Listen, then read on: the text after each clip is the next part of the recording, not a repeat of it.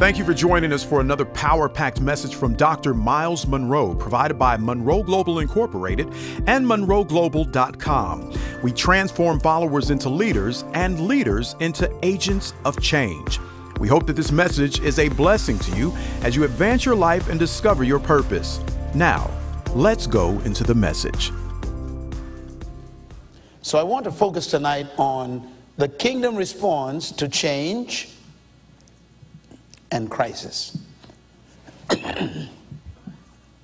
Write that down. The kingdom responds to what? Change and crisis.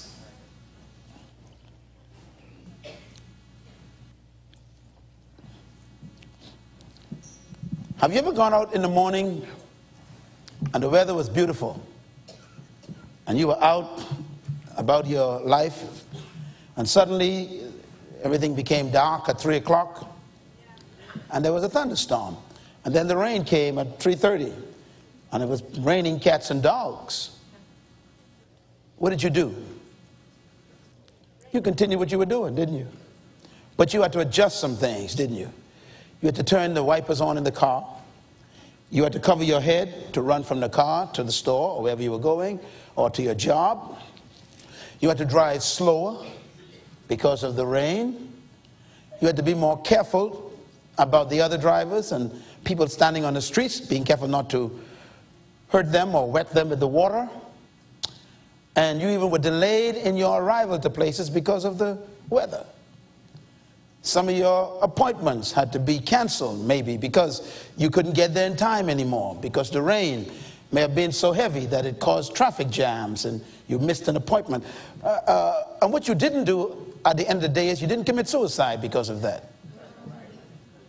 What you do when things change, you adjust. This is a very important session. The kingdom, how does it respond to change and crisis?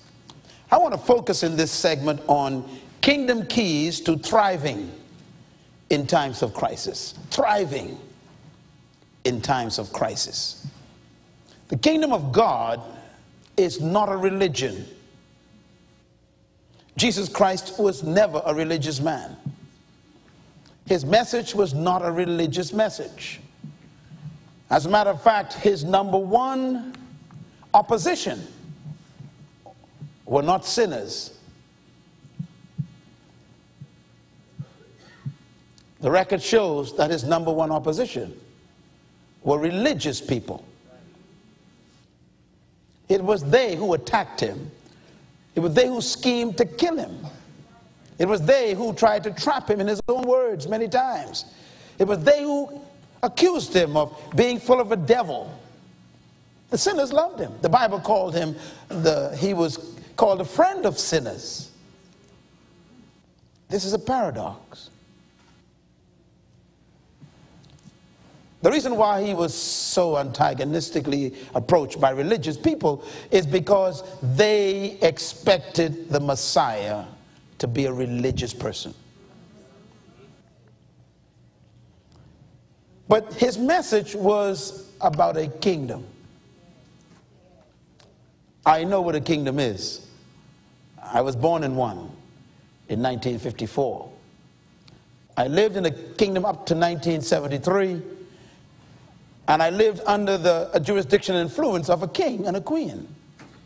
My islands that I was born in and still live in today were under a kingdom for over 200 years. And so we have the culture of kingdom in our blood. So when I read the Bible, the Bible makes sense to me. If you were born in a democracy all your life, as you have in this country, for over 200 years now, you actually are a product of rebellion against the kingdom in 1776. So there was no opportunity for this great country to have any concept of kingdoms in its culture. So when I read the Bible, I understand the words of Jesus perhaps a little bit more succinctly and clearly than those who were born in a democratic culture. Christ came preaching a kingdom. A kingdom is not a religion. A kingdom is, write this down, a country. Jesus came to earth to reintroduce a country. This is the problem with religion today. Religion is still propagating and promoting a religion concept and not a country concept. A religion cannot survive crisis.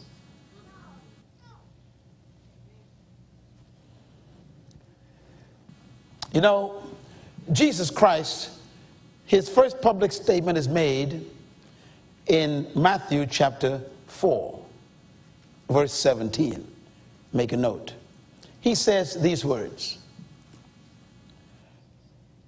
It says, and from that time forward, Jesus began to preach. Quote, repent. Why? Because the kingdom of heaven has arrived, he says. Is at hand simply means in the old British New King James Version, has arrived. He was announcing not the coming, but the arrival of the kingdom of heaven. He couldn't just say the kingdom, because a kingdom is a country. So he had to say the kingdom of heaven. Heaven is the place. Heaven, please forgive my feeble human term, is a country. It's an invisible country. It is more real than earth. As a matter of fact, the Bible teaches that the unseen is more real than the seen. Heaven is an invisible country that produced planet Earth. The entire physical universe is a product of heaven, created by the King of heaven for the purpose of extending the influence of heaven.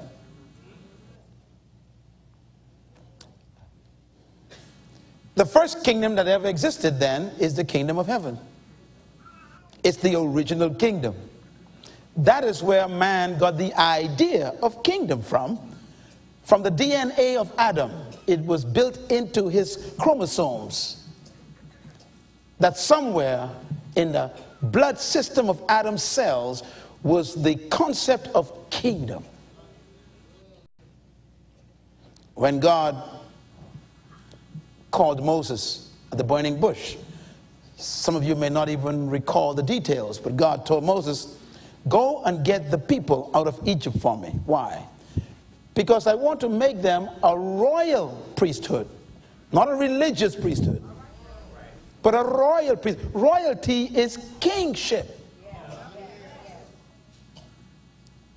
A royal priesthood and a holy nation, not a religion.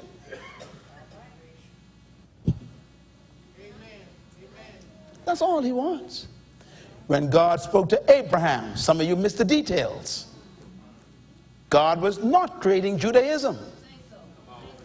Let's quote again what God told Abraham. Sometimes we are so busy being religious, we miss the entire mandate. Because Abraham, I will bless you. And I will make you a blessing.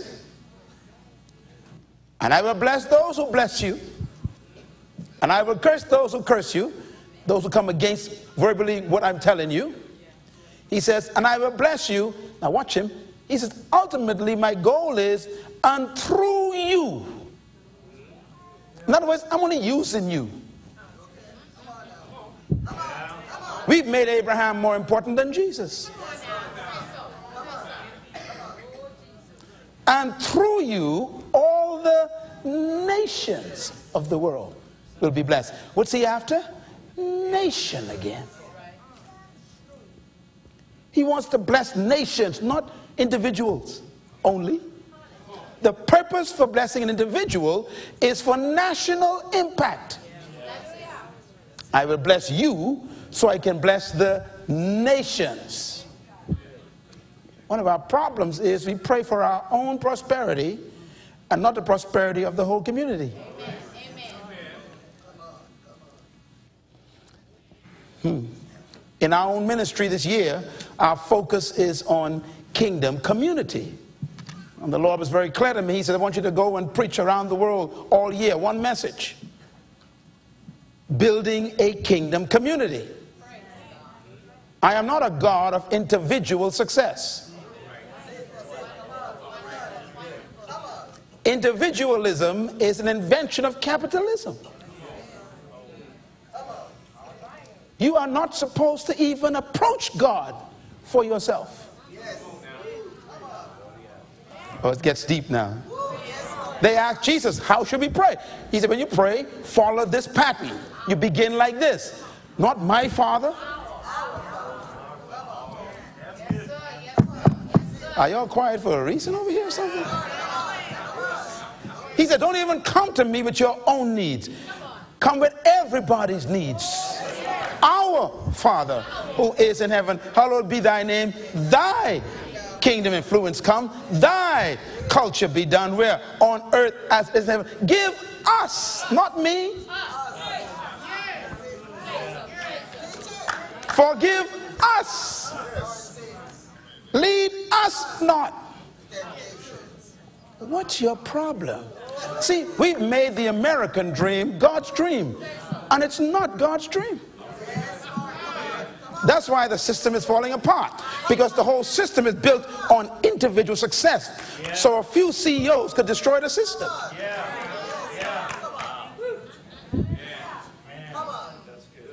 Capitalism to me, and I did my studies in college, my conclusion is it's a system that capitalizes on the weak.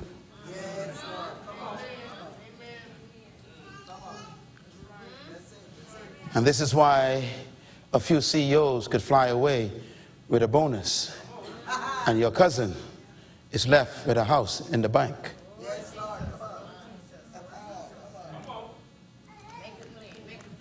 Community, everybody say community. community. Tell your neighbor your success, is my concern. The Bible says if one of us laugh and rejoice, all should rejoice. And if one of us weep, should weep. It's a different concept.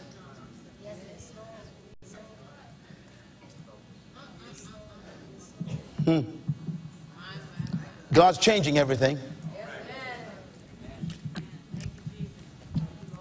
So Jesus brought this beautiful concept of a country to earth, the kingdom of heaven.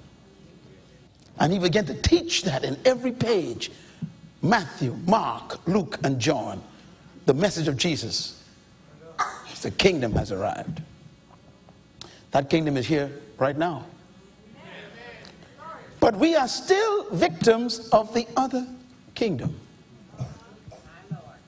Because we have mixed religion into the concept and have become victims of our own religion. Religion is man's search for God. The kingdom is what man's searching for. And when he finds the kingdom, he stops searching.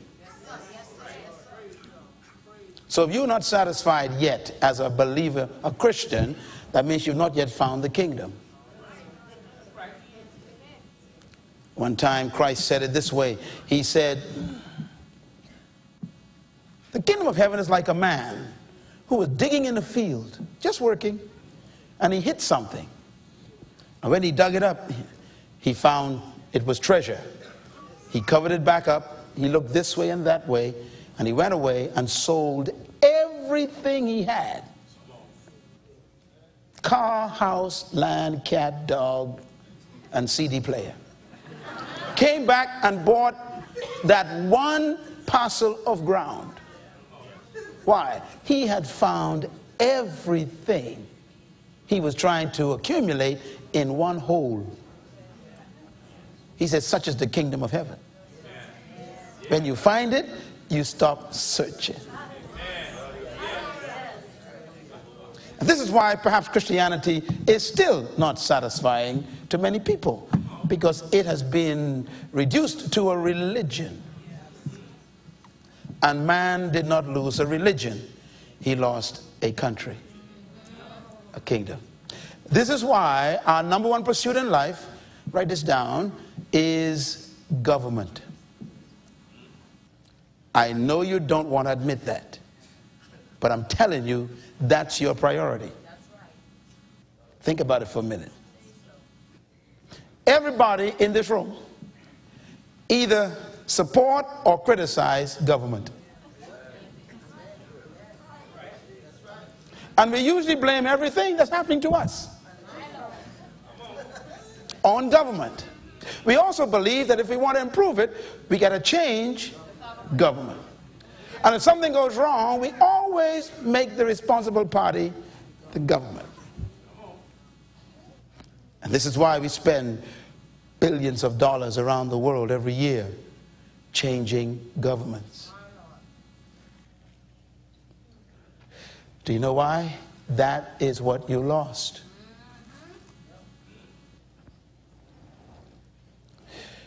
That's what Jesus bought. Isaiah 9, verse uh oh, verse 7 says, For unto you a child will be born, and unto you a son will be given, and he's coming with the government upon his shoulders. Next verse says, And of the increase of his government there will be no end. And he will reign on a throne, not a podium, not a pulpit, a throne. What do you do with these verses?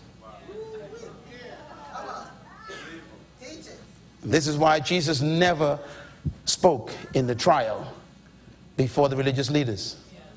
It was the wrong courtroom. You don't try a, a politician in a religious court. He was a king. And the Bible said they examined him and questioned. He answered not a word. Why? Wrong courtroom. I'm a king. I'm not a religious leader. And then the Bible said they took him before Pilate. He said, All right, now I can talk. And Pilate says, Do you know I have the power from my kingdom to take your life or give it to you? And Christ got excited. Christ says, Pilate, you could have no authority over me except it was first given to you by my government in heaven. For even now I could call 10 legions of my own soldiers, angels, and they will deliver me out of your hands. But because I came here to use you to get me killed, shut your mouth and get me crucified. So that's what I came here to do. Pilate says, Yes, sir, what is truth? He didn't bring a religion. He bought a kingdom. What is a kingdom? It's a country. Write the word country down. Just write it down, country. If you didn't bring any note paper, find Malachi. And between Malachi and Matthew in your Bible, there's a blank page. so take notes right there. I'm serious, it is there, brother. Look for it. It's there. What is a country? A country is a nation. Write the word nation next to it. And that's what Jesus Christ is interested in. Nation. What is a nation? I'll give you a list of what a nation is. Write them down. Number one, territory. Territory. Nation must have territory. That's why it's called the kingdom of heaven. Heaven is the territory. Earth is also heaven's colony, it's an extended territory. Two, language. Nations must have one language. This is why you speak in tongues. Tongues is not a religious experience, it is a national experience. A nation is known by its language. Number three, constitution. All nations have a constitution. The book in your lap is not a religious book, it is called a law book, isn't it? It's the law of God. It's a constitutional book. We make it religious. A constitution provides rights and privileges to citizens. not devotions. We use the Bible for devotions instead of learning our rights and our privileges. Number four, law. All nations have laws. Law protects the people and the Constitution. That's why you must have law. As a matter of fact, law is probably the most important component in a nation. Because law is the manifestation of the, the constitutional commitment of the people to live by standards that protect their constitution. This is why the first thing God gave the children of Israel was not power. He was going to build a nation. The first thing he gave them was what? Law. Because law produces culture. That's the next one. All nations have culture. That's what Jesus brought to earth. Number six, all nations have code of ethics. You cannot live in a country without a code of ethic. We call it morality, ethical behavior, norms.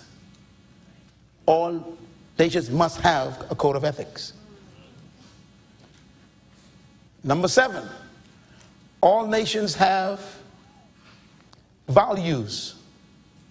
Values. We call them ideals. The kingdom of God is no different, it has values. Values are simply the things that a nation value. For example, in America, you value freedom. Most countries around you don't. You think they do. For example, in Japanese, there's no word for freedom. So the kamikaze pilots was trying to figure out, what are y'all fighting for? So they bombed their planes into your ships. Why? You talking about you fighting for freedom. They said, what is freedom? And then they bombed the ship with their own lives. Now the Eastern nations get the same problem. There's no word in their language in Arabic for freedom. So when your president says, we want you to be free, there's not even a word in the language for it. So your ideal may not be their ideal. Go do your research on it. Check it out. And this is why even in leadership, you got to be knowledgeable before you start doing diplomacy because your language may be a foreign language to people. For example, nations in, in the Asian countries and Arabic countries, they value honor, not freedom. Honor is more important than freedom. This is why they would have laws which say, you know, if you disgrace the family, we will kill you. Uh, they, why? You have disgraced the honor of the family. So they, they have a different value system. And you and I can't understand that. Why would you kill your own daughter? And you're saying this is crazy. But it's their values that control them. When you study the kingdom of God, the values are different. For example, in the kingdom of God, God values love more than revenge. So he says, Love your enemy. That doesn't make any sense to you. If somebody just robbed you and raped your wife, God says, Love them. What? No, you kill them. He said, No, in my country, you forgive them. See? Look at your face. It's tough. For example, how about value, valuing money? In the kingdom of God, God doesn't value money. In, in your culture, it's a big value. You work for it 24 hours a day. In the kingdom of God, you walk on it. The streets are made out of gold. You work for it, God walks on it. See, two different values. That's why the Bible says, Why do you worry about what you will eat and drink? You guys, your value system is screwed up, he says. Seek first. That's, that's, that's what you put value on the kingdom first. You put value on food first. Two different countries. That's why the first word Jesus used is repent. Why the word repent down? Word repent means to change your thinking. You cannot live in the kingdom of God with a religious mind. It's a country. Values. Number nine, all countries have customs. Customs. The kingdom of God has customs. Just like America and Canada and England, everyone got customs. All countries have customs. In other words, things that are customary to the culture. It's your custom to play baseball. In the kingdom of God, it's the custom to have communion. It's a country. People have no idea why you take communion who are not a part of the kingdom of God. They don't say, well, why you all do that? It's our custom. We remember our king's death for us. It's a country. Now, uh, can I give you one more? By the way, there are 26 of these. I won't give them to you. Got to buy the book out there called Rediscovering the Kingdom. In the back it, I give you 26 specific components of a country and a kingdom. Go and buy the book because nothing is yours until you learn it. A good teacher never gives the answers, they stimulate an interest in them so the student can pursue them himself.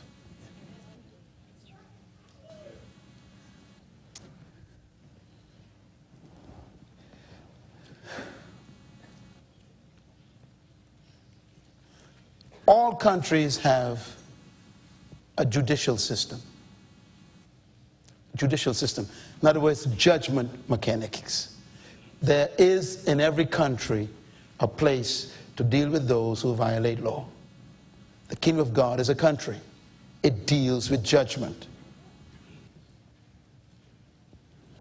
So when you violate the laws of a country, you come before the judicial system, and then they hand out penalties. The kingdom of God is no different. And I think what we have failed to do, I'm saying this very important, listen to me carefully. This is what our problem is for the last 1900 years. We lost it over almost 1900 years ago. And that is a respect for law. We have actually replaced law with grace. Kingdoms do not function on grace, they function on law. Countries cannot function on grace.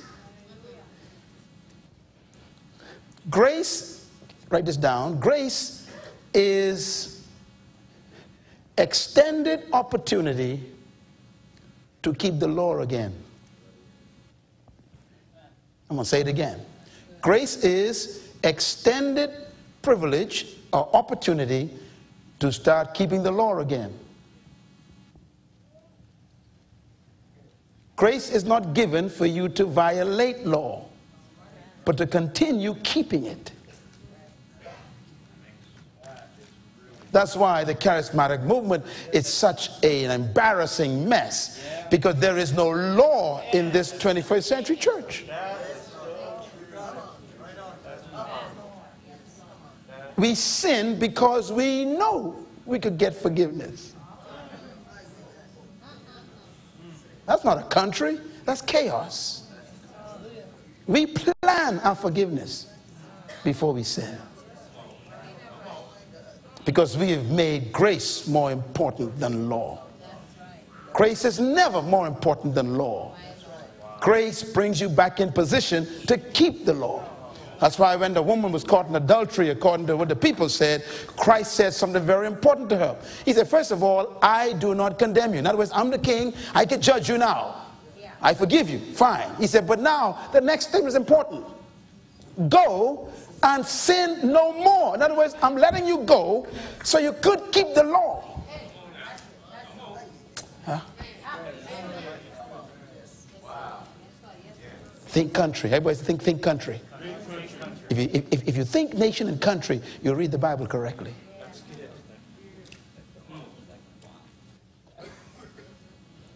So countries must judge. This is why when the Bible says that when you delay justice, you increase corruption. Because if you don't judge in a country, you are a part of the corruption.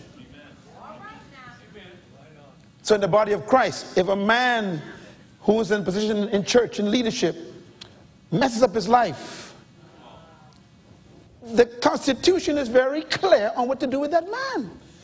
And none of the pastors today seem to want to obey the law. The law says, first of all, approach that man directly. Tell him about his fault and his sin. And then it says, you must judge, you must sit down.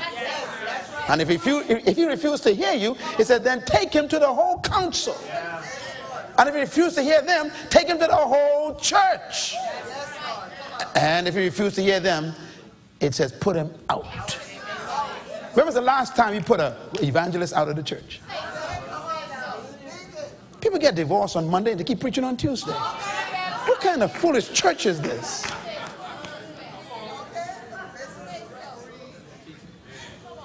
There's no government, no judgment. That's why there's no fear in the church. And tell me how you feel, brother. Tell me how you feel when you watch Mr. Ted Haggard on Larry King, embarrassing the whole church. Because no one would confront him and say, brother, shut your mouth for five years, become a member of a church and sit on the front row and start over again. No, we don't want to do that, see? You know, it's amazing. In America, in your own nation, when someone breaks the law, what do you do? You remove them from the society and put them in a place called prison. Same thing God says, remove them. He says, if they don't want to line up with the law, you remove them out of the society, out of the community.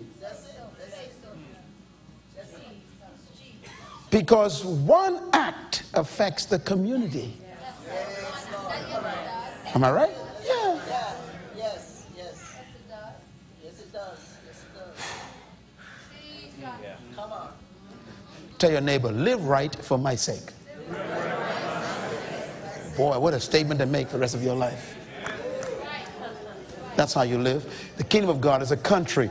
And if you violate the law, you are compromising everybody. So you must, you must all be responsible for helping others to keep the law. Say, hey, brother, no, I, I, saw you at that club last night. You can't do that, man. You're in the choir, man. You can't be in the club and be in the choir, brother. You can mess up all. In other words, you deal with it yourself right there. You don't gossip about it. You to him. Say, brother, I can't let you do this to us. Either you in the choir or you in the club. Now, which one are you in, brother? Because we got to make a decision. I'm going to tell the whole church where I saw you if you don't clean your act up. That's law. Go ahead and clap your hands. Praise God.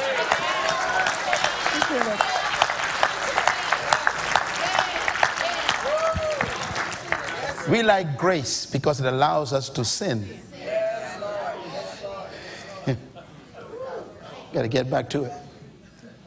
I remember a rich young man came to Jesus and asked Christ the ultimate question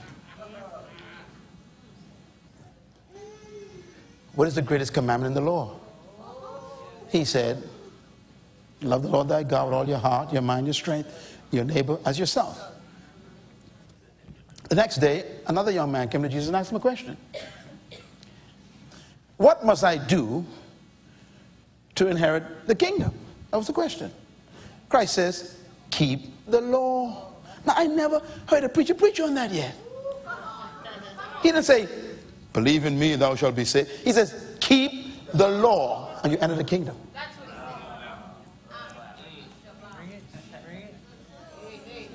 Yeah, I know. You see, you never heard that before. See, they, they tell you when you just pray. No, he says, keep the law. And then the man says, okay, what are the law? And Christ began to repeat the Ten Commandments again in the New Testament.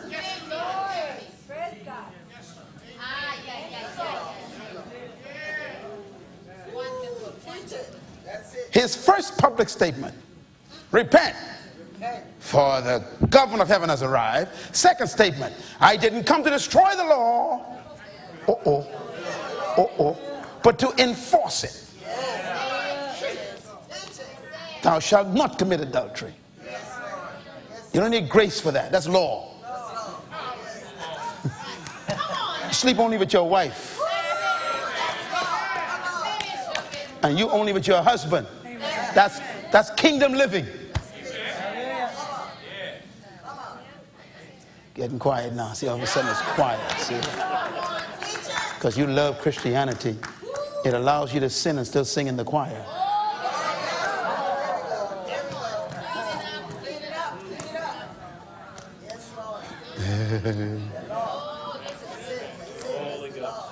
Policemen are driving all over the city tonight, watching for what? Lawbreakers. We need, we need to have some saints just moving around the kingdom all the time. Looking for who? Lawbreakers. Aren't you married? Yeah. What are you doing here with this guy?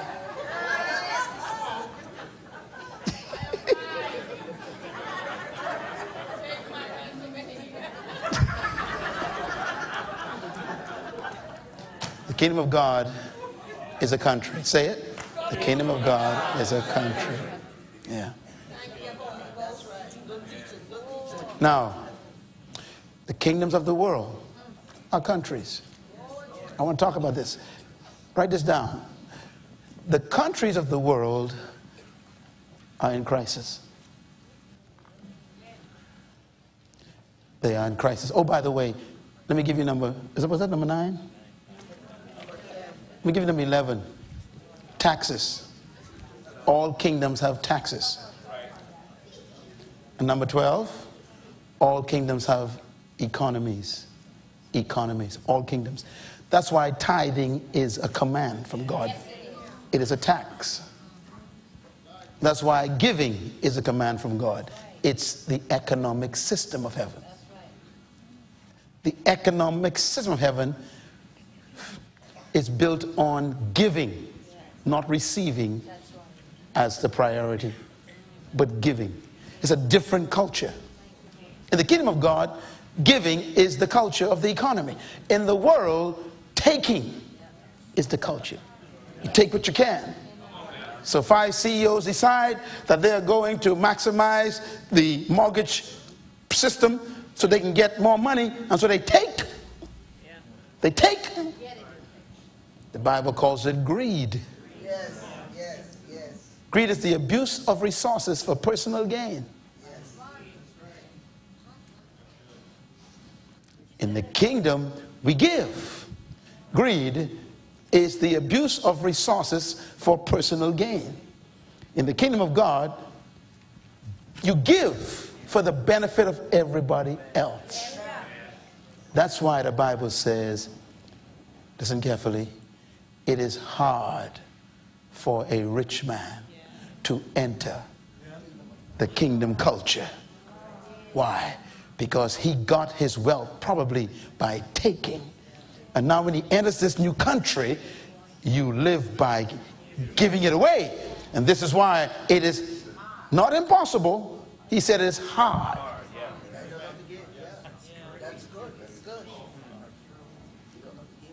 Good. Do you remember there was a guy who was a professional white collar thief? His name was Zacchaeus. Zacchaeus was in the system. He was a merchant and a tax collector. The guy was serious. And you remember what Jesus did to him? He went to his house. Now, in those days, uh, everybody say thresh. Say threshold. threshold. What is that? That's the wood across the door. It's an important wood, piece of wood.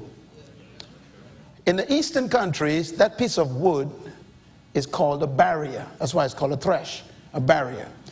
You don't let anybody cross that barrier lightly because once they cross that thresh, they become one with your house.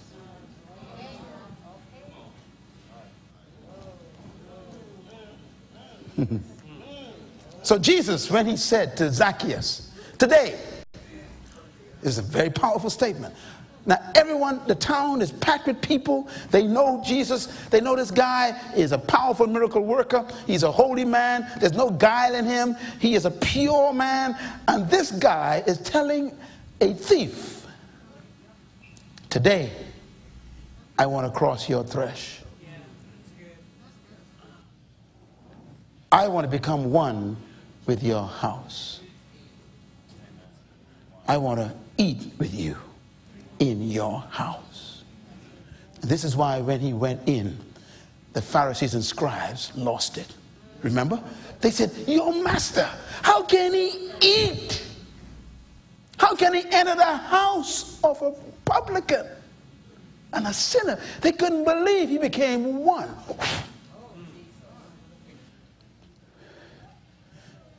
The kingdom of God is never intimidated by the culture of the world. Can I say it again? Yes. The kingdom of God is never intimidated by the culture of the world. You're never afraid of their culture. You can walk right into their territory. Why? Because you are the dominant culture. You don't believe me? Watch what happens next. He comes in the house, he sits at the table, and eats Zacchaeus' food. Now, when anyone eats your food in that culture, they've eaten your sweat. Anyone from the eastern country will tell you that. In other words, a man's bread is his life. When he shares his bread with you, he's shared his entire life with you. So when the Bible says Christ ate at the house, he was eating Zacchaeus' life. And when the meal was over, this rich man who was a capitalist suddenly went through a transformation, repentance. His thinking changed. And what happens? A taker suddenly became a giver without anyone prodding him. That is happening to you right now while I'm teaching. You need to stop being a religious person and start becoming a kingdom person. And you prove your kingdom power by your capacity to let things go. I dare you. Zacchaeus began to give everything back. And he got so excited, he told Jesus, he said, Look, Master, look, see, I am giving every man back what I took from him, and even more. What a transformation. When a stingy man becomes a giver, that's a miracle. Give God a hand for a miracle, kingdom miracle.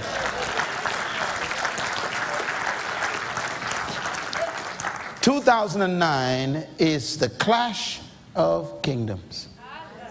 That's why the system is falling apart. Number two, change is the human equalizer. Everybody in this room is being affected by change right now, whether you like it or not. Some of you older folks, you thought you retired. Now your retirement is gone. Your 401k is gone. Some of you thought you had a permanent job, now your job is in jeopardy, or you probably lost it. Some of you thought that your business was going to be intact for years, and now your business can't even get a loan from the bank to continue. Everything is changing. It equalizes everybody. Write this down. Number three crisis is simply unexpected change. That's why they're calling it a crisis. What is a crisis? I can't hear you. What is a crisis? Everybody say together, louder. Unexpected change. What's a crisis? Unexpected change. Very important. So any change that you didn't expect becomes a crisis. The country didn't expect this to happen. Three years ago, we were booming. Last year, oil prices knocked everything out of whack. This year, now, the whole system is collapsing unexpected change. What is unexpected change? Crisis. Crisis. Let's talk a little bit about change and crisis. Let's see if you have a few in your own life. Write these down. Number one. Here's what I call different changes that bring crisis.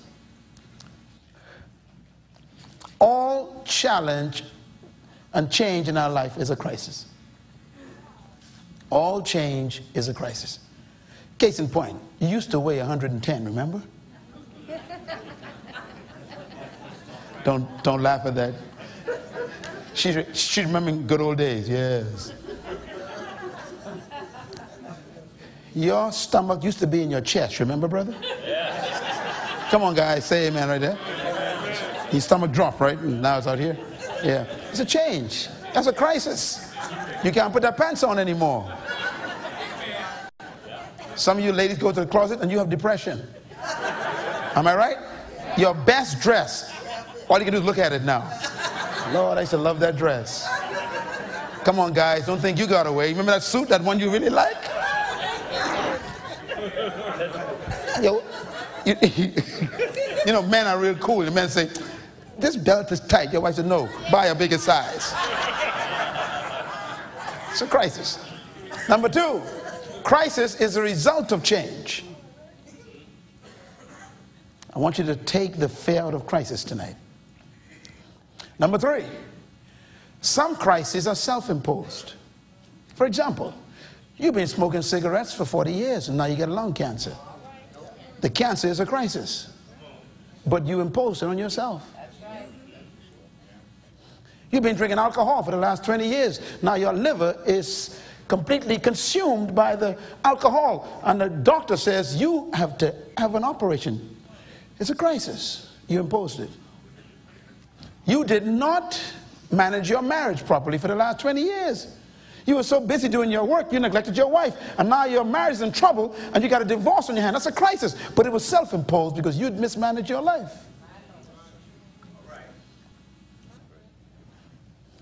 Some crises are self imposed. Number three, write this down. An external crisis is a result of changes over which you have no control.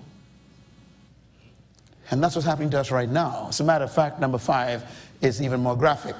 The greatest result of crisis is change.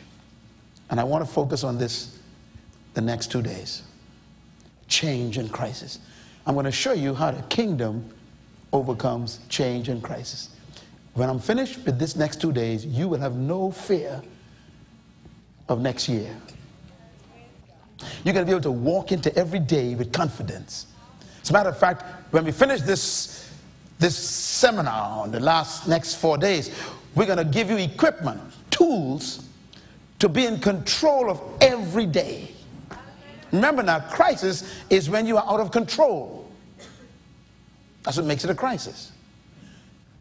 The kingdom of God puts you in control. And we're going to see how that happens.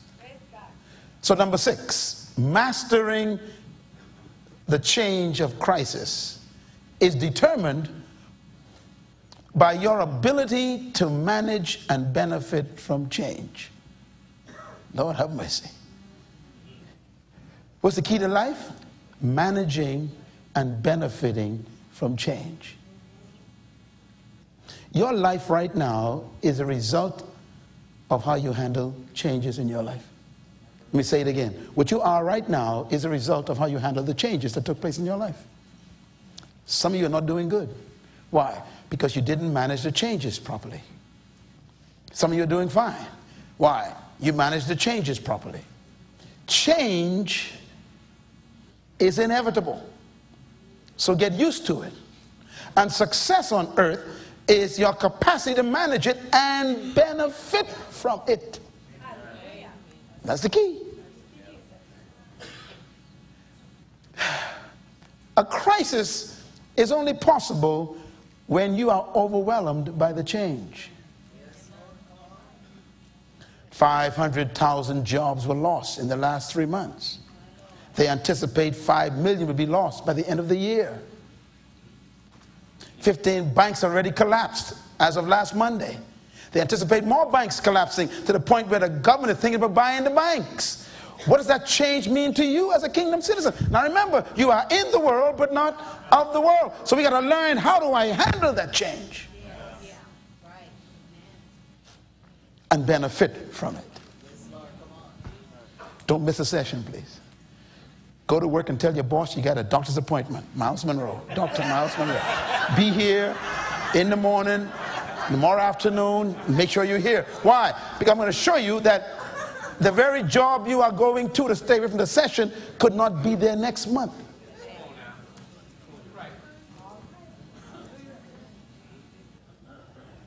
Knowledge is more important than expediency. That's right. That's right. That's right. Yes. Tell your neighbor, we're going to benefit from change. Tell your neighbor, I'm going to master crisis. Here was, what is a crisis? You've been hearing it all this year. Crisis, crisis. What's a crisis? Write this down. Let me define it for you. A crisis is, write this down, an event, a circumstance, or a situation affecting you or your environment over which you have no direct cause, control, or responsibility. That's a crisis. What is a crisis? It is an event or a circumstance or a situation, like the economic conditions right now, over which you have no direct cause. You didn't cause it, you can't control it, and you can't take responsibility for it, but you are in it. That's a crisis. You can spend your life getting angry and cursing everybody and getting depressed, put a gun to your head and cancel your life. Or you can look at this and say, Look, let me get control of this. Don't miss tomorrow. Let me give you a little preview. Jesus said these words In this world, you will have many troubles. Watch him now. You will have many, it's a promise. He promised trouble. See, the problem with the charismatic movement is they only want the ones for the blessing promises. In this world, you will have many troubles. He says, but have no fear. Why? I have overcome the world, and you will overcome. Give God a praise. Yeah. He didn't say you overcome it by leaving it.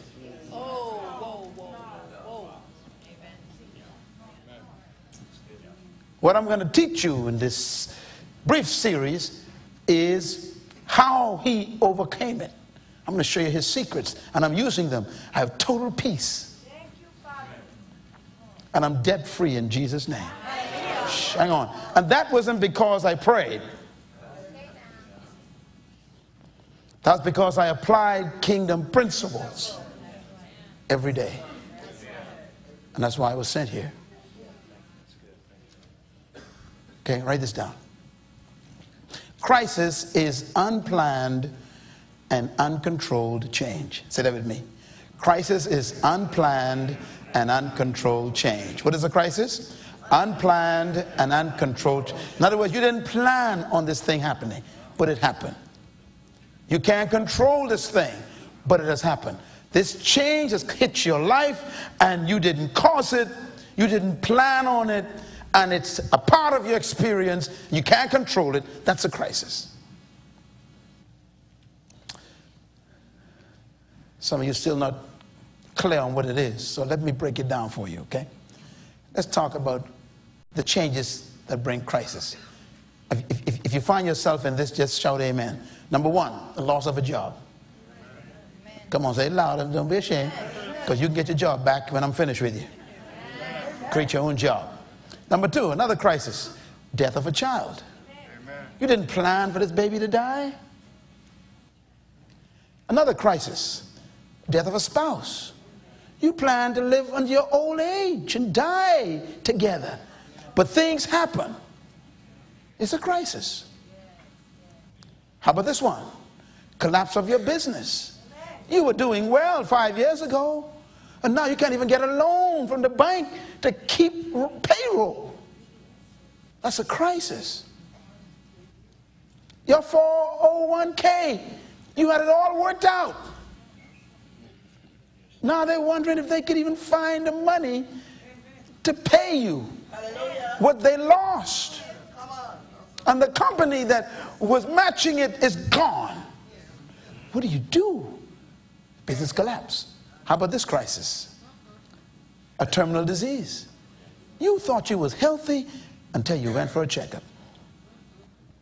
It's a crisis. How about this one? A divorce.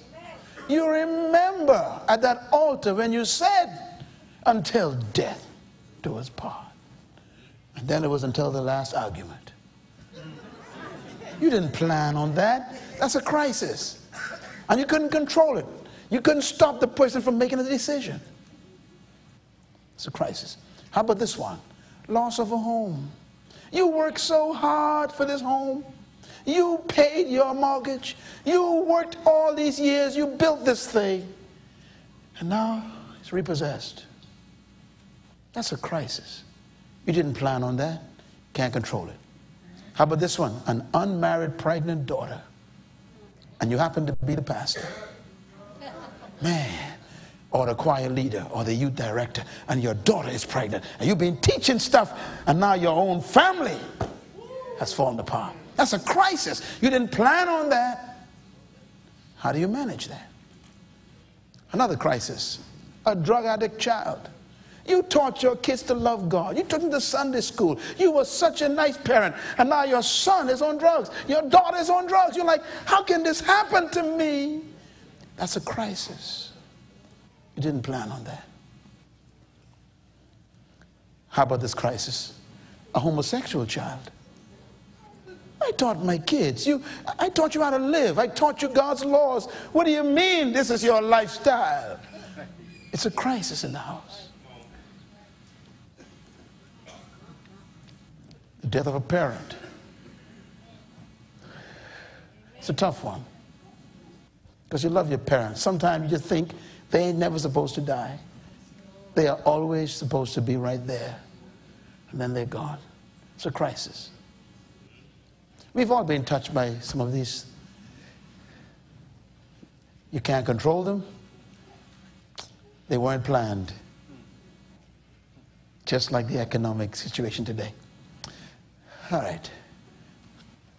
The effects of crisis, real quickly fear, trauma, depression, despair, frustration, anxiety, loneliness, abandonment, worry, hopelessness, sense of loss, sense of death, sense of survival. I got to make it somehow. Crisis brings abuse. That's when you abuse the folks you love the best, the most, under pressure. You begin to blame your wife or blame your husband for what's going on, when in fact it's not their fault, but you turn on them because you feel distress. You abuse one another. And then, of course, you got crime always elevates under pressure and crisis. People begin to feel desperate and they break into homes, they rob banks, they, they hold people up at, at stores, and, and this is the, the crime rate goes up under crisis. And then, of course, we have domestic violence where a husband or wife would blame each other, and the stress and the tension would cause nerves to be on edge, and people hurt one another in the house. That list is what's going on right now in American society and in my country and in all the countries of Europe, that same list. That's why you have to take charge of your life. That will be your future in the next two months if you don't take charge of crisis. I came here not to give you a good word, I came to give you some answers to your present condition. There's no time to be shouting hallelujah. We need some instructions from God. How do we handle when I lose my house, lose my job, abandon my family? What do I do when my business ain't working and my church offering ain't coming in? What do I do? You have to know what to do.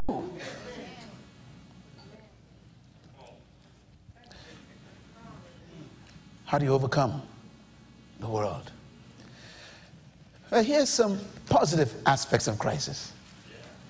Take a deep breath. Say, Thank you, Jesus. Yeah, because number one, unity. Crisis drives people together. Number two, community. Crisis destroys individuality and cultivates dependency again. That's why you got to go back to people who you abandoned. Some of you got to go back even to your parents' house to live now. Didn't speak to them for years. Now you lost yours. It creates community. You were such a high hog in church and you thought you was doing fine. No, your business collapsed and now you got to depend on the handouts of the church hospitality group. Brings back community. Number three, empathy. Crisis suddenly makes you sympathize with other people because now you ain't got nothing to. See, sometimes we forget what it feels like to have nothing. That's why Paul says, whether I'm a base or whether I am a, a full, I am the same. Because God will supply no matter what. If I have or don't have, he says, my life is the same. I learned how to be abased. Sometimes we forget what it feels like to have nothing. And God would allow a crisis to reduce you to empathy. Crisis is also the source of solidarity. You ever heard this? If we don't live together, we'll sink apart.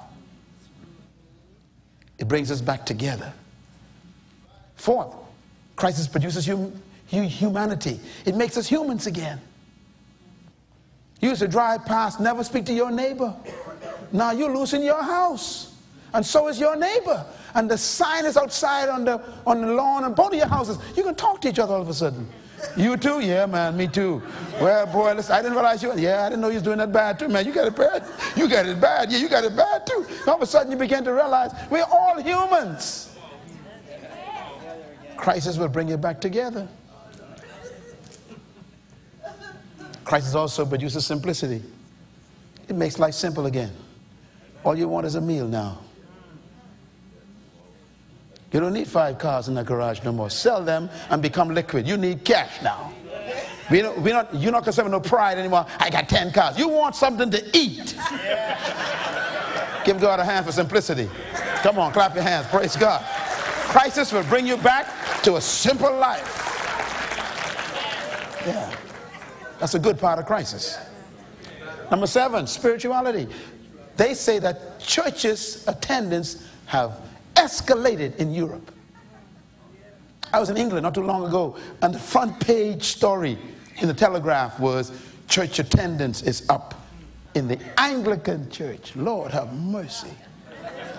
Why? Because when people are stressed and anxious and afraid, they turn back to God.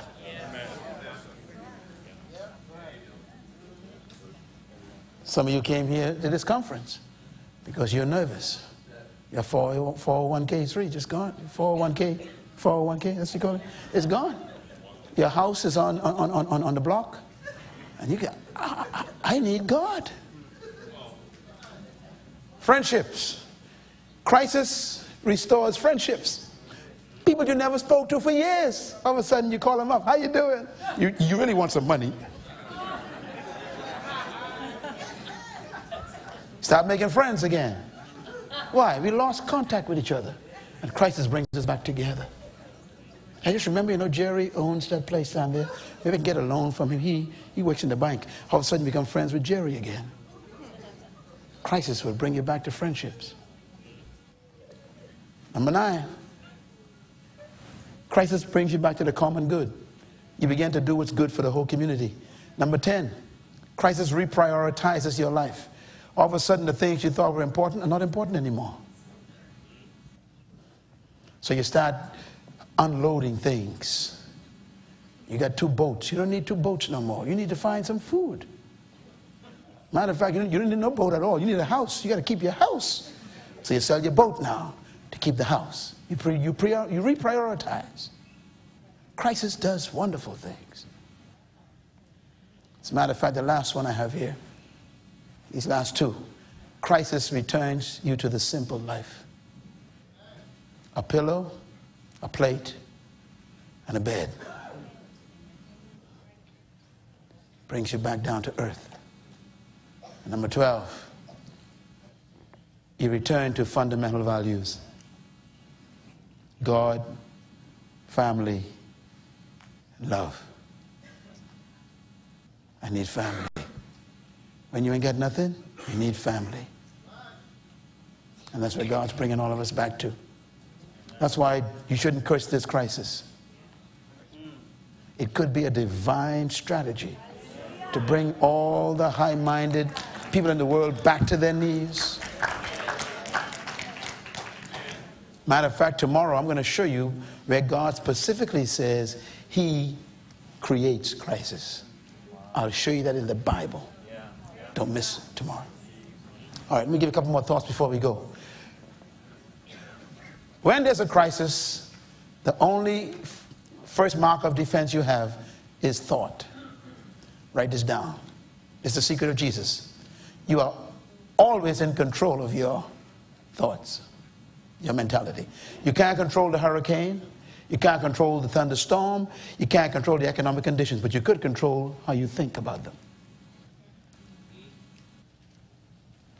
Imagine your first line of defense is you can control how you think about them, which means suddenly they're no longer in control. You can control your thoughts, you can control your mind. And the last one, you can control your perception. Write that down. Your interpretation of what's happening. The secret to living in the kingdom of God is seeing life differently from the world sees it. Your perception, how you interpret things. For example, only God can look at a fiery furnace and see it as a blessing. That's right.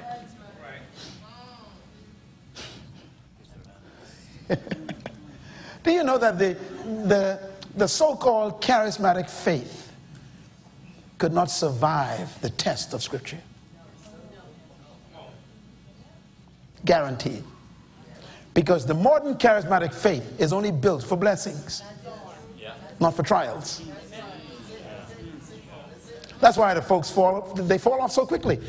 One problem, you don't see them anymore in church. They're gone. Why? Because you've been preaching one side of the message.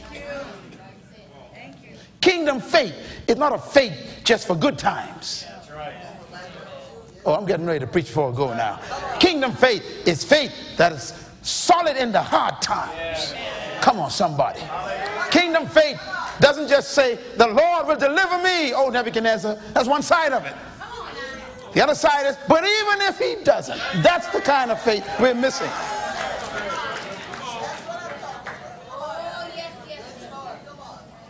Where's your faith when you lose your house? Who tell you God won't let you? God will allow you to lose your house. That ain't the devil, that's God. Don't just blame the devil. Could you imagine Shadrach say to Meshach, God ain't putting the fire out?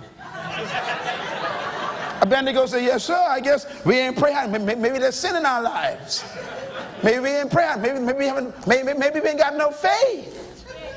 You got faith and you're praying, good. But this time you're going in the fire, God says. Can you handle faith in the fire?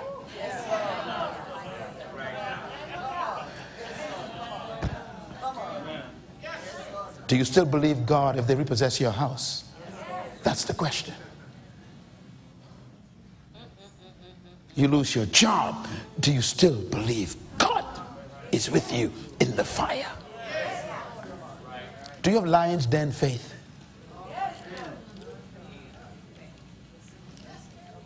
Hey, boy, say crisis faith. The kingdom has crisis faith. We're not afraid of hard times. You shall have many troubles, but I've overcome. So be not afraid, because greater is He. Come on, all this stuff you confessing. Now we can see if you can test it.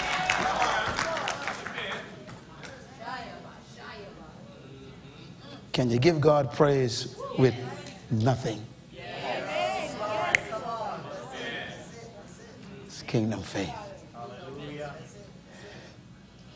We have, in very strange ways, misinterpreted Job and almost made Job guilty of being a man of God.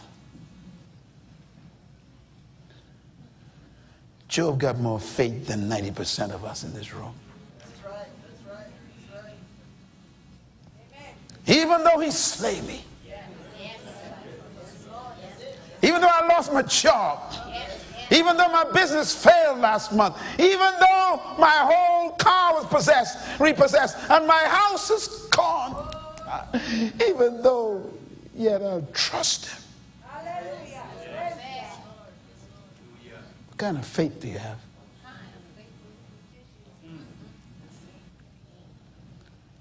Your faith is only as strong as the test it survives. Can I repeat it again? Write it down. I have a new book coming out on this very subject the power of kingdom faith. We've lost it. Faith, your faith is only as strong as the tests it survives.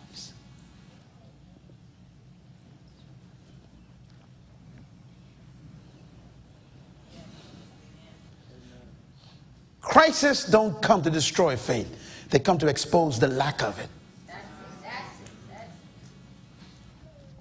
Yeah. It's what you came through, daughter, that makes you great, not what you avoided. I respect you because you're still standing.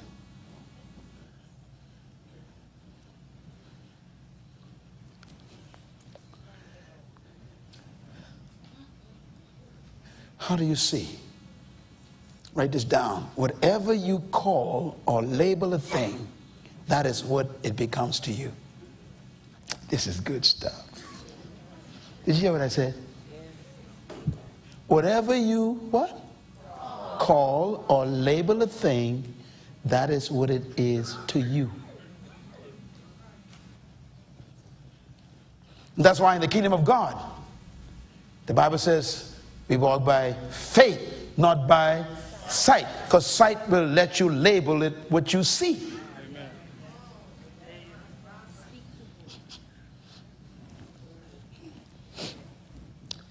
Number two, whatever a thing is to you controls your response to it.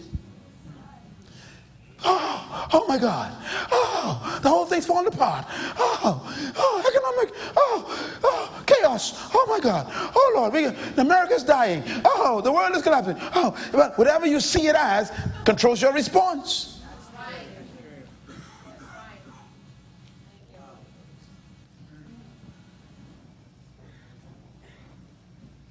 Number three, controlled perception is not denial of reality.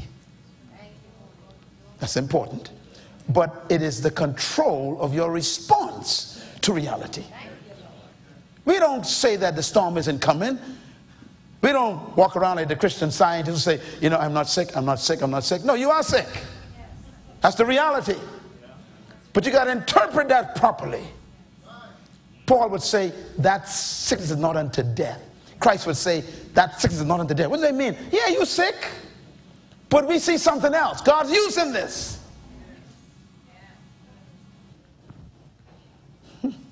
Can God use a fiery furnace? Yeah, to expose the fourth man. You would have never known there was a fourth man if there was not a fiery furnace. I wonder what he's going to use this crisis for to show what kind of person he is as God in your life.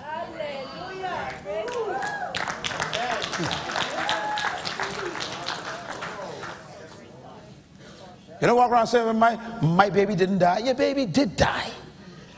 I didn't get a divorce. You did get a divorce. That's the reality. My husband did die. My wife did die. That's the reality. Now you got to control your response to it. That comes from getting the mind and the perception of God about crisis. Crisis doesn't come to destroy, it comes to bring faith. Matter of fact, write this down. Crisis is simply a change in the environment that demands a new, unscheduled response. That's good stuff. In other words, you didn't plan on this happening. So now you got to respond in a way you never planned to respond. That's what crisis does. It tests your capacity to land on your feet.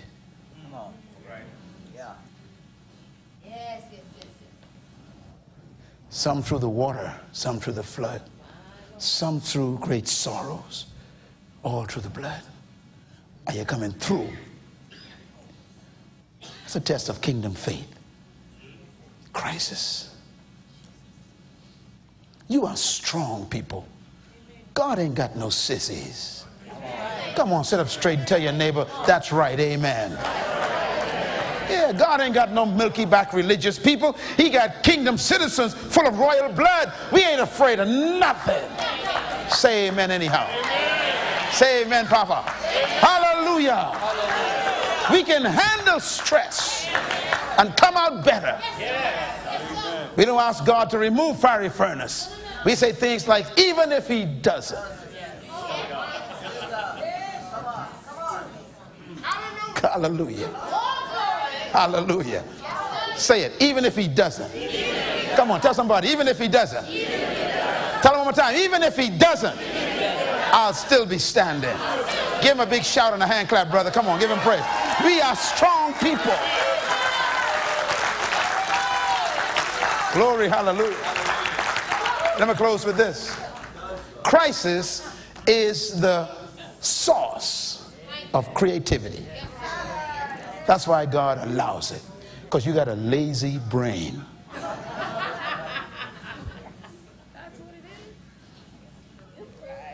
God knows that you are more than you are.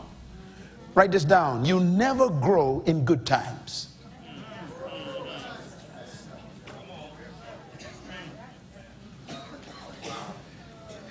History is not a record of good times.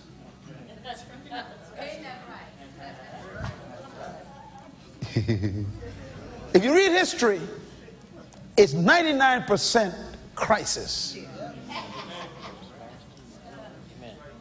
Hmm. we remember not the things you achieved, but the things you endured. That's what we remember about you. Crisis is history. We remember David for what? Goliath. We remember Moses for what? The Red Sea. See, it's the crisis we remember.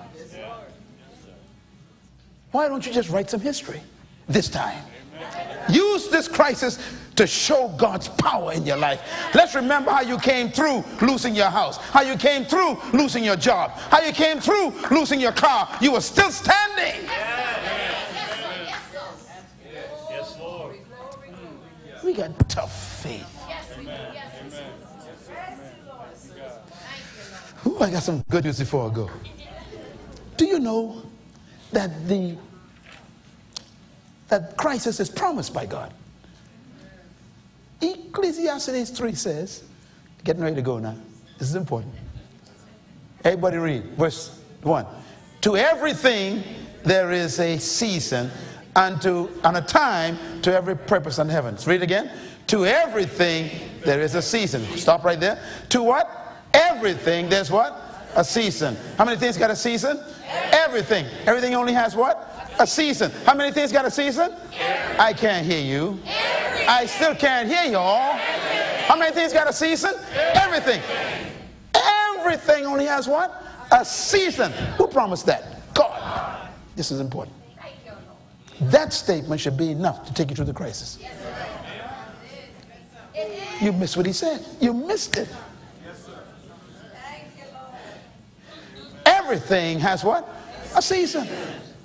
That means if you are broke now, according to God, that cannot last. Come on, give him a praise.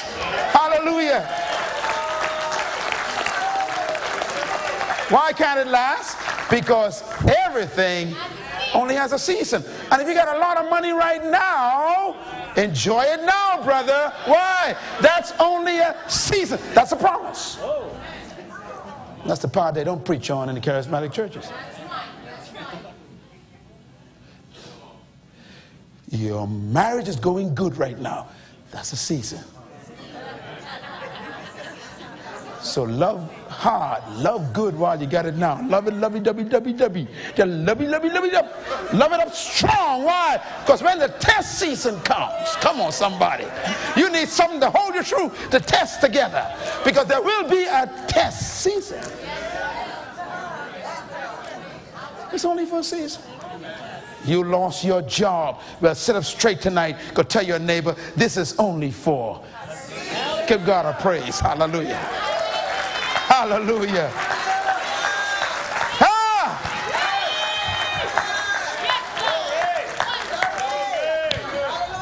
Yes, your business ain't doing good right now, and maybe even maybe you'll even close it down. But God said, make you a promise that is only for a season. That means don't have a funeral. There will be a resurrection. Come on, give God a praise. I say, give him a praise, brother. Only for a season. That's the good news. You know what I love about hurricanes? I love hurricanes. See, I discovered how good crises are. A hurricane is a crisis, but a hurricane is a blessing. See, there you are. You charismatic people can't handle that.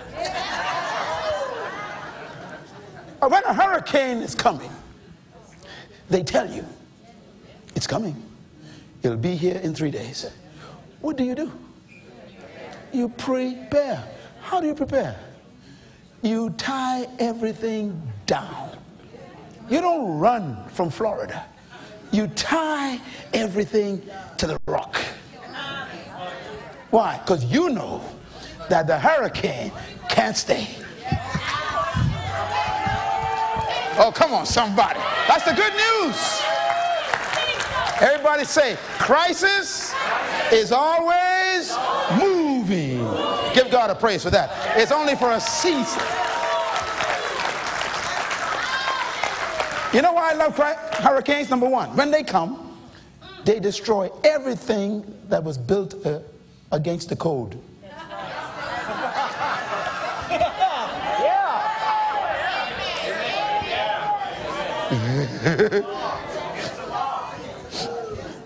If your life ain't built right, the crisis will remove it. We'll see who's built on the rock now. Number two, when a hurricane comes, it destroys trees that looked good on the outside. Tell your neighbor, that ain't you. When a crisis comes, it exposes the rottenness on the inside of people's lives you never knew was there. This can happen in the next two years. Thirdly, when a hurricane comes, it removes all pollution. Have you noticed? All of a sudden, you get fresh air. The Holy Spirit is watching this crisis clean the church out, clean the air out, clean capitalism out. It's going to wipe everything out that was poison. You know why I like a hurricane? Here's a good one. Because when it's gone, you get new trees.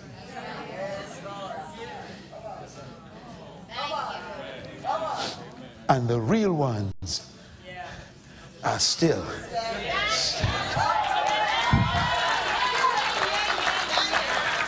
Oh, Yabasatara Buramakasa.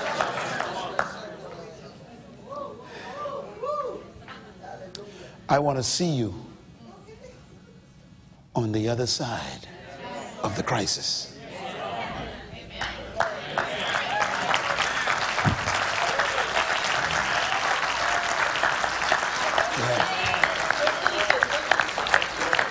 It's only for a season. Write this down. Everything is seasonal. Say it again. One more time. Keep that in your mind for the rest of your life, and you'll never lose your peace. Amen. I know it looks dark right now, but darkness is seasonal. I know it seems cold right now.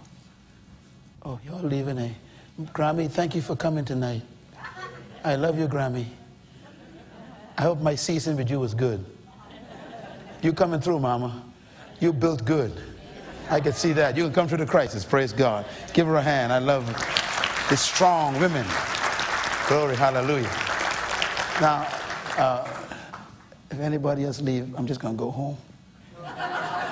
Just give me five more minutes. Can you do that? You promise? Because I just want to close on something here. Okay? Write this down. This is a promise. Everybody ready for another promise? Yes. It's a promise that we don't like. Genesis chapter 8, verse 22.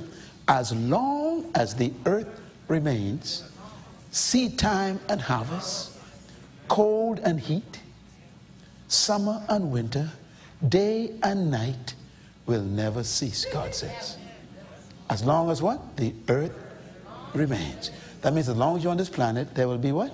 Seed time, harvest, cold and heat, summer and winter, day and night will never cease.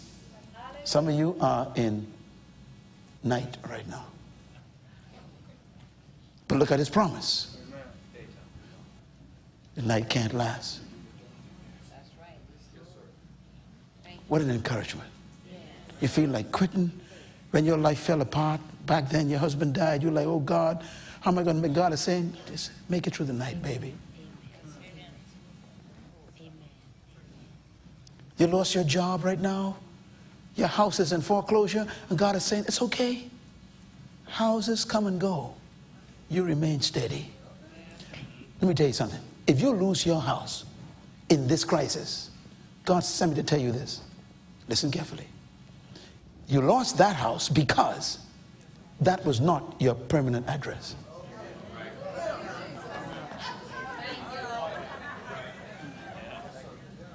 God could stop anything he wants to stop.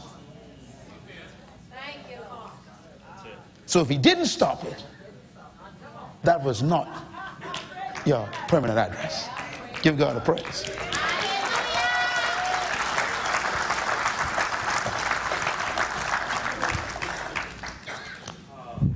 If you lost your car, guess what?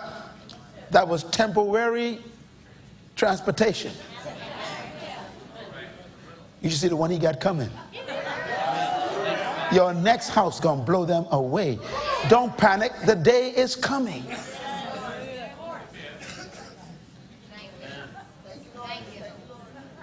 Hmm. You know, you lost your marriage, and some of you think that's permanent. God says, No, day is coming again. Prepare yourself for day.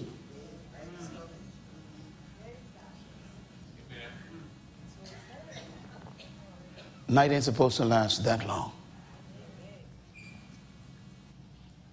Weeping may endure only for a night. But there's got to be joy up ahead. What a promise. Here's the one that you never saw before Daniel 2, verse 20. It says, together, Praise be to the name of the Lord God forever and ever. Wisdom and power are his. What are his? Wisdom and power. Very important words. What is wisdom? Application of knowledge. What is power? Might to make things happen. He has both. Wisdom and power are his. What's the next statement? He changes times. He does what? He changes. Now you see, you keep blaming the CEOs.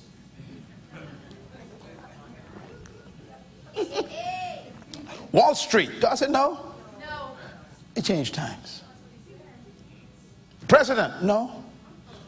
He changes times. And what? And seasons. He sets up governments and sets down governments. That's in your constitution. Yes, sir. Thank you, Lord. Hold that for me. So stop blaming people and get on with maximizing the crisis. Amen. I'm so excited about what's getting ready to happen in my life. I'm going to maximize this crisis to the glory of God. I'm going to grow more. I'm going to experience bigger things. I ain't got time for criticism. I'm too creative for criticism. Because God changes times.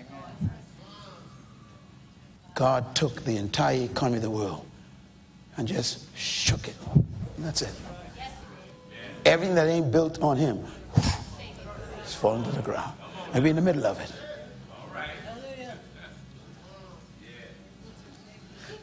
And God called this, this ain't no normal conference, I'm telling you now.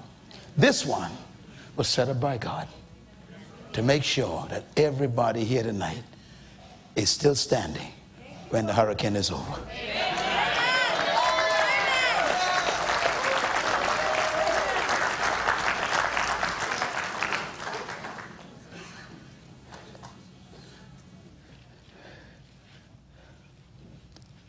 The greatest protection against change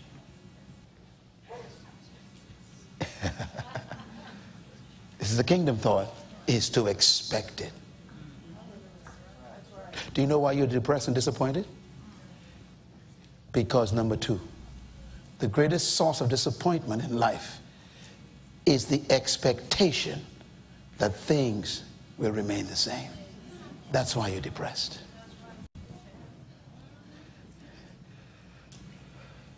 You can never be disappointed in what you expect. That's why he says, to everything. There's a season. Your problem is you thought everything was forever, including all the money, all the blessing, even your health. You will go through physical changes. Who do you think you are? You will not be able to pay some of your bills sometime. You got to taste it. Who do you think you are? You will lose sometime. A winner is simply a loser who kept on trying.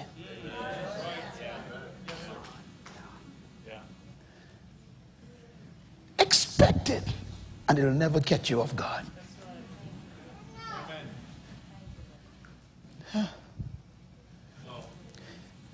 Number three, the greatest protection against disappointment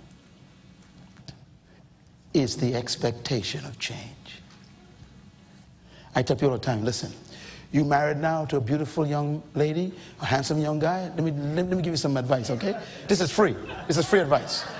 Free advice. Ready? Here it is. If you, if you look at her mother, you will be sleeping with that someday.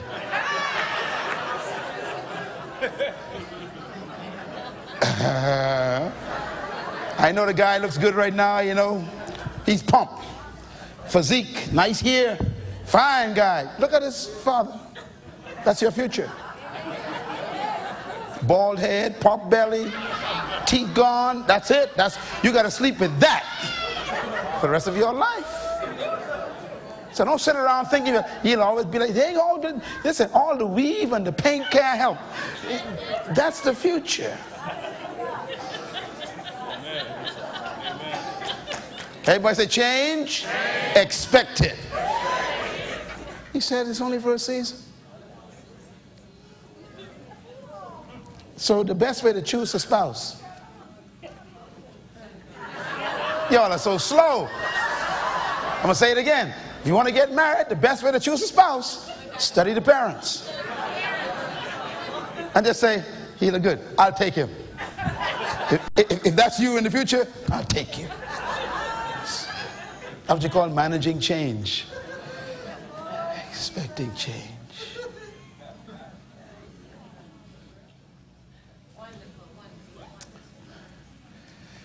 Well, I got two things to do before we go, but I'm going to stop right here. Hold that for me. Can I have the glass of water, please? I give you the prophet's reward in Jesus' name.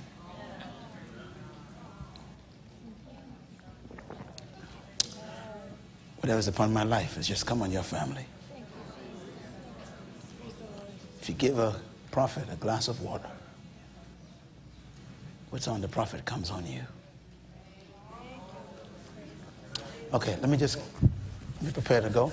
We can pick, we can pick right here tomorrow. Don't miss tomorrow. Okay, listen to this. The only people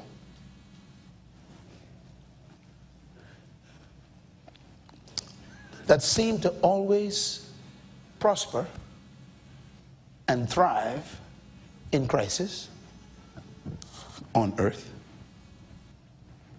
as a culture are the Asians. Have you noticed?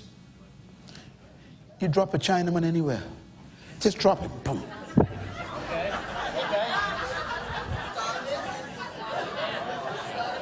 Follow me now. I want to show you.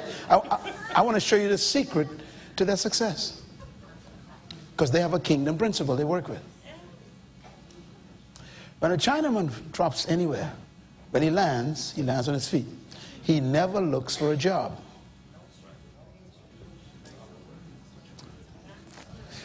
Oh, yeah. Y'all are slow.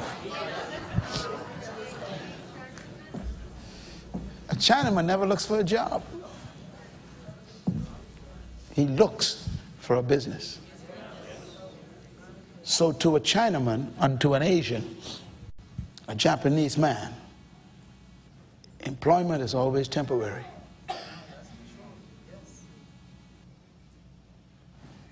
Because he thinks in terms of being in charge of his life. Some of the poorest neighborhood in my country, all black people, there's a Chinaman in the middle. It's crazy, isn't it? And we're like, what are you doing here? Making money, making money, making money.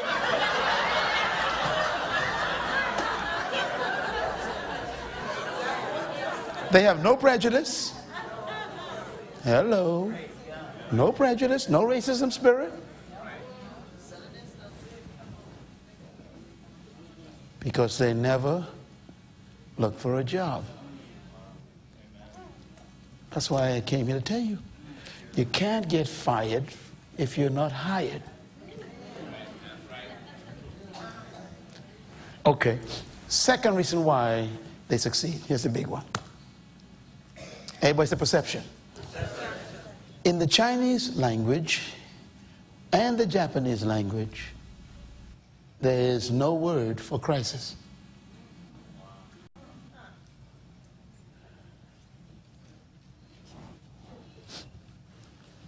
In the Japanese and Chinese language, the word that we call crisis is five strokes, and it means opportunity.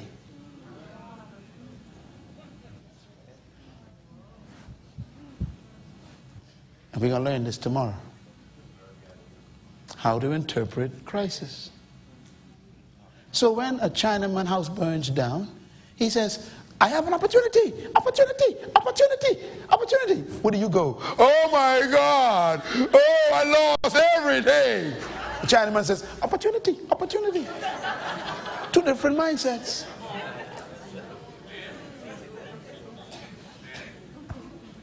Chinaman loses his job. He says, thank you, thank you, thank you, opportunity, thank you. You get your pink slip. Oh, Jesus. Oh, the Lord God. Oh, Jesus. Oh, what am I going to do now? The Chinaman says, opportunity, opportunity.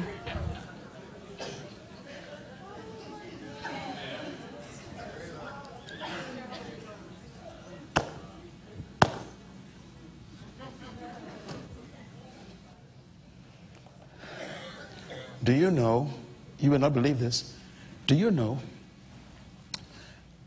that the largest economy in the world is not America? It's Japan. Not even China, Japan. Japan is an island.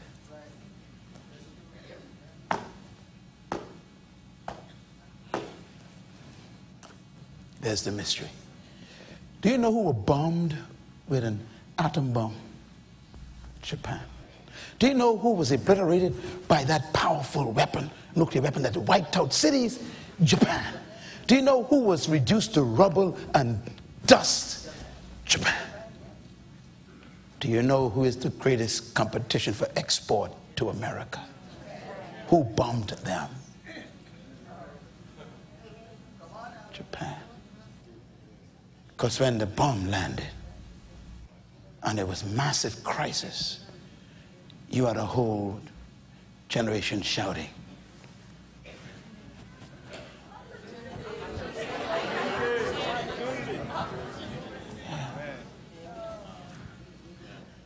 And then they sold you cars. And they sold you TVs. And they sold you stereos. And they bought Sony. And they own Hollywood today.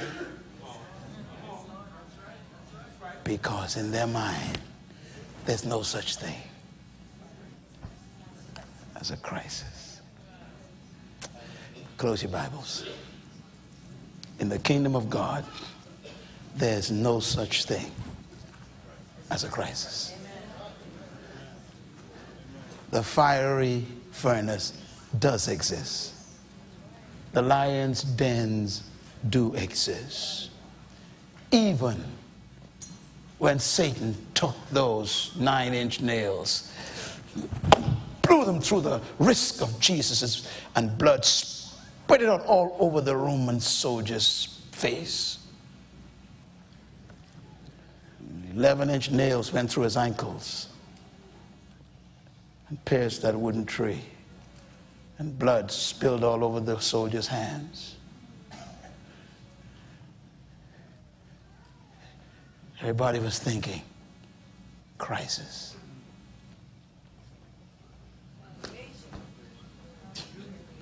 Depends on what you call it.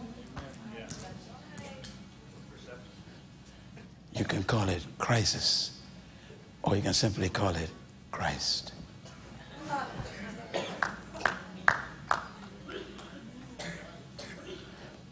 Opportunity. What man called crucifixion, God used it as a benefit. Called it redemption. That was the most beautiful crisis in history. Let's continue to make it beautiful. Make it through. Thank you once again for listening to this message as we hope that it has been a blessing to you. Our goal is to show you new paths and opportunities so that you can discover your purpose. It is your love, support, and partnership that makes Munroe Global possible. Please visit us online at www.munroeglobal.com for more product, partnership, or to join us at one of our live events around the world.